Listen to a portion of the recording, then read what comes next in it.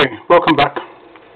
All I want to look at now is emergency lighting. Okay, so this is to provide you with information only.